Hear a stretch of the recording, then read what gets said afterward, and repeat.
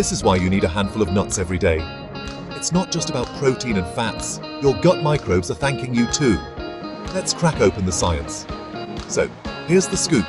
When adults eat nuts regularly, their gut microbiome gets a serious upgrade. Think of your gut as a bustling city, and nuts are like friendly newcomers bringing in good vibes.